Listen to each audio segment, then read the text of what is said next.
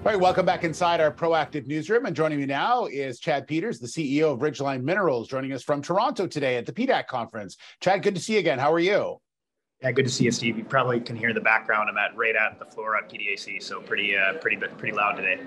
Pretty busy there. Yep. It is. Yep. Yeah, I can imagine. Uh, well, you've got news out that uh, obviously people want to come by and say hello and talk about, and that is you've uh, shared the first two drill holes from Selena. So, first off, just remind everyone about the drill program and then specifically these two uh, drill holes. Yeah, no, we we are really excited about the drill hole results. Right, we we announced them yesterday. This was a three kilometer step out from our existing discovery, and we intersected um, CRD mineralization exactly where we where we thought we would in the host horizon. Um, we had the highlight intercept was three meters of uh, um, 40 grams silver. Um, 3 grams gold, 0.2% lead, and 6.7% zinc. And that's a nice high grade CRD intercept.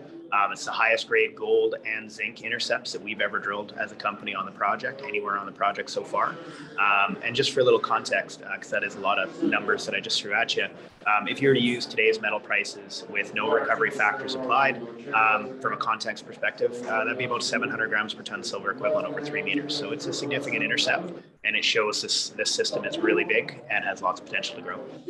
Yeah, just uh, Chad, your reaction to getting these right off the bat. I mean, it's pretty exciting to get these kind of numbers at any time, but having them so early in the drill program, uh, what does that say to uh, to the team that that sort of put yourself included, obviously, that put this drill program together? Uh, I mean, like I, Mike and the team, those they're incredible. Like we, you know, I, I said, really, we're we're going to step out three kilometers from. I think you know that's a big step out, right? Most people do 100, 100 meters, 200 meters. We stepped out 3,000 meters, right? and to try to test a concept, and they had a ton of confidence in the uh, geologic model.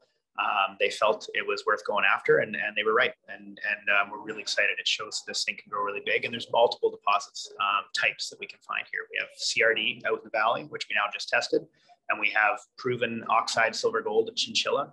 And just south of that is those historic results that we just chatted about last week, right? Bonanza grade silver and gold at our Juniper target, which is a kilometer south of that discovery. So we're talking about a strike of over four kilometers to this system now of high grade silver, gold, lead, and zinc. And um, I think it's going to be a very exciting year for us. And real quick, more results still to come, Chad?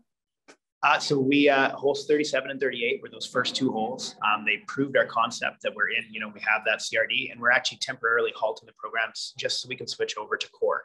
So we've been drilling RC through now with our strategic drilling contract, um, and these are very significant results. And we feel that from here on moving out, we need to be drilling core to get the best quality data um, for these deeper CRD intersects. Um, so um, we're going to switch over to core. There'll be more results coming out all the way through the fall when we kick that program up, uh, probably in late July, early August. All right, we'll leave it there. Congratulations, Chad. Good to see you again, and good luck at the show. Thanks, Steve. Appreciate it. All right, Chad Peters, the CEO of Ridgeline Minerals.